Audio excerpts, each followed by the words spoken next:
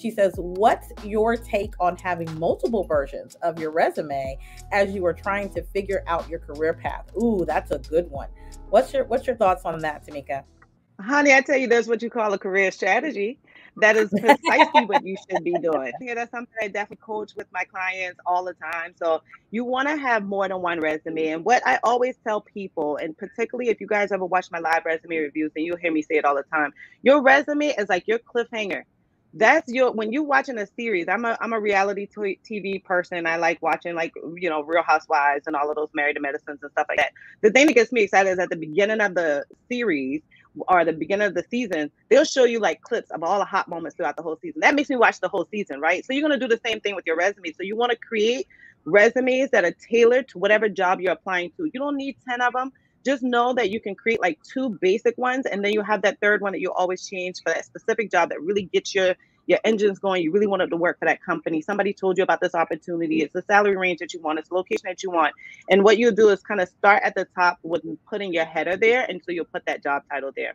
And so that's super duper big. Obviously a, a great great game changer. So please do it. how can i start to network in college and it's really really crazy because you're going to do that in multiple ways. In college one way that i did that is you can do it with sororities and fraternities. I'm not even in one but i network with those people right?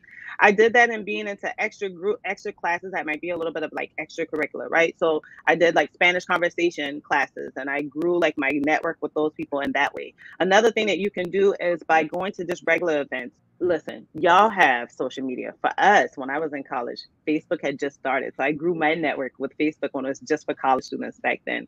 That's a good way. But you guys have all of these individual ways of doing that. Your colleges normally have like career fairs. Don't be afraid to go to another college's career fair or local tech school's career fair.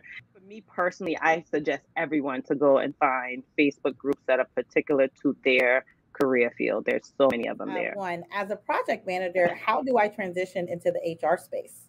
Oh man, you're a project manager. All we do is manage projects all day, honey. So what you're absolutely going to have to do is make sure that you look at that job description and you're going to have to scratch your mind. You're going to have to kind of unlearn what you know. Don't worry about saying I manage this project in this way. You can say I partnered with X number of stakeholders and these positions who had X number of people reporting to them because we want to see that you can do that communication externally and internally. Start talking about the software that you've used because nobody's looking for particularly an exact name that you use. They're looking for you to have a tech acumen that you're not afraid of a software we put you in the front of a new one. So don't be afraid to start putting things like Tableau or Power BI or what have you take your job titles and take out the specifics in those job titles on your resume. So somebody might say uh, digital project manager, just put project manager, right? Take that out. That's the company's name, but an overall name would be project manager. And what you can also do is make sure to put your skills at the top of your resume versus starting with just your experience. So I always tell people when you're pivoting, use a bit of a summary or a career um, synopsis, but get away from those objectives, y'all. Y'all ain't trying to accomplish one thing. You accomplishing a lot. So give a bit of a summary. Um, aspiring human resources professional pivoting from project management into human resources using my wealth of skills to be a successful um, party for your organization or professional for your organization. And then you want to start listing out those skills. So you already using this software, right? So you're com- comfortable with AirMeet or Airtable. You're comfortable with um, Google Meet if you've ever used that, Zoom you've ever used that, if you've ever used Google Docs, if you've ever used Microsoft Suite, don't just say Suite, start saying which ones you use. Are you comfortable with PowerPoint, Word, Excel? Like make sure you start listing those things out and be really detailed on that because you never know how what what they're looking for for you to have some experience in and know that you with that project management skills and those software skills or whatever other um, project you've completed showing momentum in those bullet points can help you pivot into human resources. Do you have any tips for interviewing and easing nerves? Interviewing and easing nerves. Interviews are so so different right? Because now interviews have evolved. We're not just going into an office for interviews and meeting somebody one time and then getting a job offer or not now you're looking at multiple interviews. You're looking at them being online. You're looking at them being on the phone. You're looking at them being a different type of video software. You're looking at even doing homework assignments too. So one way to shake nerves for that is I always tell people people to create your elevator pitch. I don't care what questions they ask me. If they ask me to introduce myself or they say, Timeka, tell me a time you did this, I'll answer that question. I'll tell you how to answer questions. And then I always go for the same elevator pitch. The more you practice it, the more you do it, the more you do it over and over again in front of different people, the more you'll get comfortable with it. And that will kind of shake those nerves because you get more and more comfortable in yourself.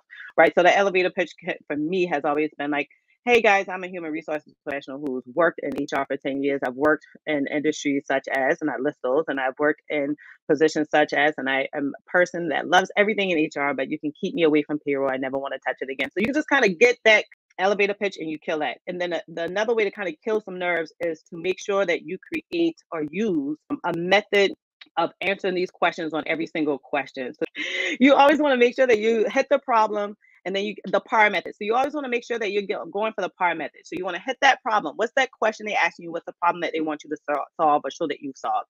And then you always want to say the action that you've done to solve that problem. And then what was the result? Somebody says, "Tell me about the time you experienced working with a horrible manager." I'd say, "Oh my goodness, I've done that several times." And, and over time, what we've had. So I'm going to talk about the problem, right?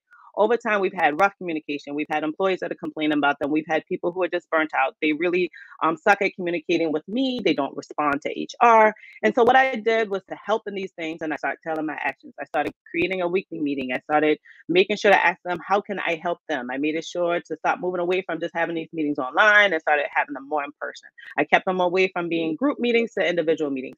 And then as a result, that hiring manager, so now we're getting into my result of the PAR method that hiring manager got more comfortable with me. She started telling me more of what she was having like problems at home. I was able to offer EAP services and help her to get to that final result of being a better manager, of working with HR better, of working with her team better, navigating to get her team more comfortable with her. So always go for the PAR method, your elevator pitch. The more you do those things, the more you answer the same questions in the same way.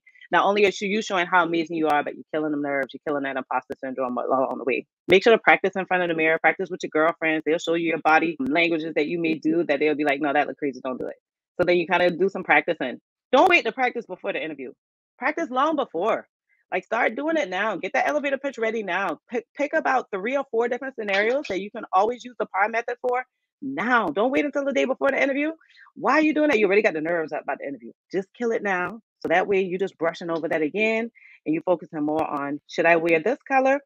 Because I definitely want to stay away from a, like a red or orange or yellow in the interview. So I'll go for my blues. You know, you can f- start focusing on the things that really doesn't matter as much.